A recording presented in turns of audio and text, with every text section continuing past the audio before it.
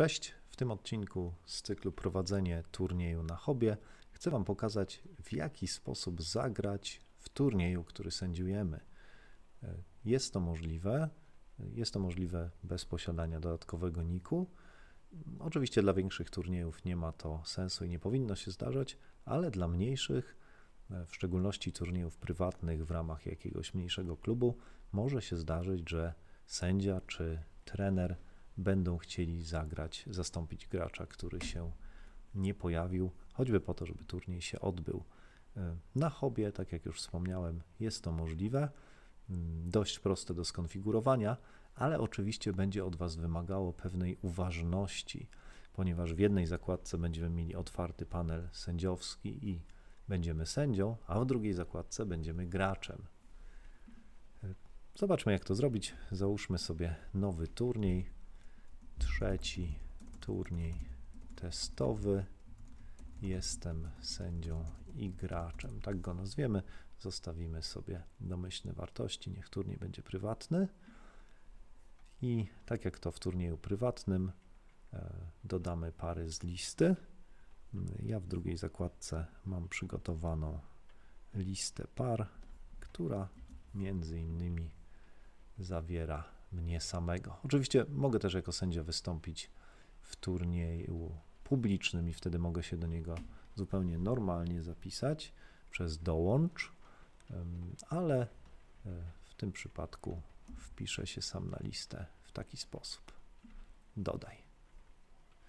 Dobrze. I w tym momencie jesteśmy zapisani do tego turnieju, podobnie jak pozostali gracze. Spróbujmy wyjść. Pokażę Wam teraz, jak jak, e, jak to wszystko działa. Jesteśmy, to jest nasz turniej, jesteśmy na tej zakładce i kiedy teraz do niej wejdziemy jako sędzia, zobaczymy dwa przyciski. Jeden to będzie zrezygnuj, ponieważ gramy, no to mamy opcję rezygnacji lub admin.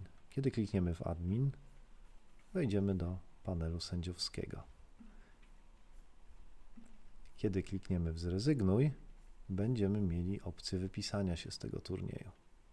Ok, możemy, zrobię to teraz testowo, tak żebyście poczuli, że nie jest to nic strasznego i to są odwracalne decyzje. Czyli tak, rezygnujemy z turnieju, już nas nie ma na liście. Teraz oprócz opcji admin mamy opcję dołącz. No to dobra, to dopiszmy się z powrotem do tego turnieju. Zapraszamy bota 11, który słyszałem, że jest znakomitym graczem w drugim okienku zaakceptuję to, e, to zaproszenie. No i ponownie jesteśmy zapisani, tak? Także nie ma w tym zupełnie nic, e, nic trudnego. No ale teraz ponownie, żeby wystartować turniej, bo teraz jesteśmy w widoku gracza, musimy wejść do widoku admina, czyli widoku sędziego. Wystartujmy teraz turniej i zobaczcie, co się wydarzy. Otóż to okienko, no, czy jesteś pewien, że chcesz rozpocząć? Jesteś pewien. Co się teraz stało? To okienko, mimo że pod spodem tak naprawdę pojawił się na moment panel sędziowski, dostało powiadomienie uruchamianie turnieju, ponieważ jesteśmy graczem w tym turnieju, a bycie graczem no, z punktu widzenia naszego algorytmu jest ważniejsze od bycia sędzią, no to system próbuje zabrać nas na turniej, który właśnie startuje, zabrać nas na pierwszy stolik. No to klikamy OK i teraz jesteśmy graczem. I zobaczcie, że tak naprawdę, no tak naprawdę widzimy tylko i wyłącznie swoje karty. Jesteśmy graczem i będziemy mogli normalnie sobie grać. Ja w tym momencie uruchamiam pozostałych graczy, pozostałe boty jak oni są już online. No i ja licytuję, tak? Zaczniemy od pasa. Ok, gram sobie. No dobrze, to teraz jak to zrobić, żebym wrócił do panelu sędziowskiego? No oczywiście otworzę go sobie w nowej zakładce. W przeciwieństwie do innych zawodników, ja na, na tym panelu z prawej strony widzę taki specjalny link admin. Kiedy go kliknę, to w drugiej zakładce otworzy mi się panel zarządzania turniejem. Czyli w tym momencie na tej zakładce będę sędzią, a na poprzedniej zakładce w dalszym ciągu będę graczem. No dobrze, to w trakcie, kiedy otwiera mi się zakładka zarządzania turniejem, mogę spasować i zobaczyć, jak tu się rozwinie sytuacja. Dobra, zostałem dziadkiem, bot 11 sobie rozgrywa, tym lepiej mam więcej czasu na, e, na sędziowanie. Przechodzę na drugą zakładkę. No i tutaj mamy panel zarządzania turniejem, który świetnie znacie. Mamy sześć par w turnieju, wszystkie stoliki jeszcze grają. Otrzymuję normalne powiadomienia i ekran się odświeża w miarę rozgrywania rozdań. Oczywiście tutaj widzę, że e, na naszym stoliku jeszcze to rozdanie nie zostało skończone. Nie szkodzi.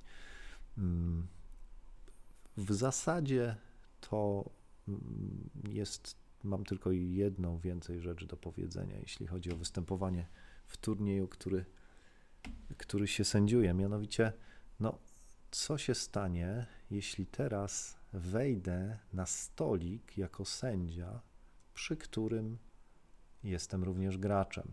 No, nie powinienem tego robić, a nie powinienem tego robić dlatego, że wówczas zobaczę wszystkie ręce, bo będę na stoliku w trybie admina. Porównajmy to sobie zresztą.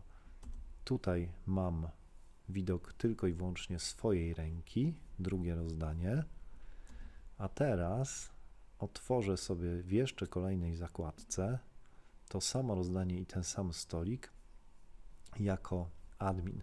Co prawda ręka Ena jest tutaj, no ale zobaczcie, że widzę wszystkie cztery ręce.